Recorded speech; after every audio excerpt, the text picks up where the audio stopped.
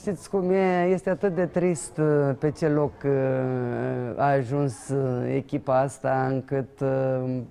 Bine, nu acolo e o, mi-e, mi-e e o greu să... debandadă întreagă, nu mai Nu înțelegem. știu dacă este de bandadă, că um, eu am lucrat foarte bine cu domnul Negoiță și știu că este un om care chiar bă, își dorește să pună pe linia de plutire această echipă. Da, dar eu nu mă întreb știu. dacă nu vrea sau Și- nu are mai și mult. Nu știu, adică- nu vrea, nu are, chiar uh, mi-e greu să spun, uh, dar știu că este de bună credință și vrea să țină echipa asta sus, dar ce se întâmplă, deci este greu de înțeles. Acel loc nu este un loc care pe care să situeze o echipă cum este Dinamo. Dar vedeți cum vorbeam, sportul este în Dinamovista regres. ați fost și Dinamovista o să Da, nu rămâneți, nu? există.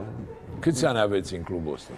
Deci eu prima dată am ajuns în acest club în 1985 și Deci o viață de om. o viață de 30 om, și deci de ani. n-am cum. Iubesc 35 acest de club, ani. clubul, acest club a fost um, ca a doua mea casă, deci nu Da. pot să mă E- dezic de el indiferent uh, unde...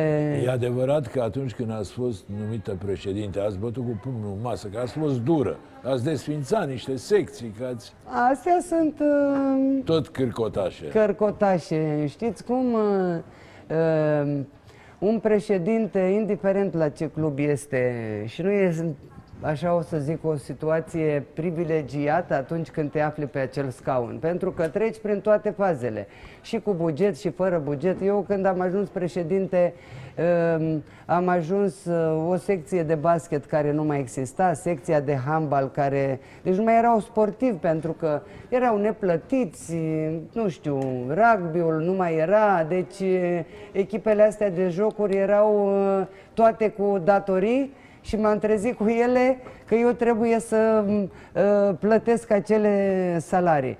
Uh, este foarte greu dacă nu poți, uh, dacă nu ai niște sponsori lângă tine. Acum, să zi, zicem că este un caz fericit pentru că uh, s-au creat aceste contracte de activitate sportivă care din bugetul statului, din bugetul statului poți să plătești uh, aceste salarii.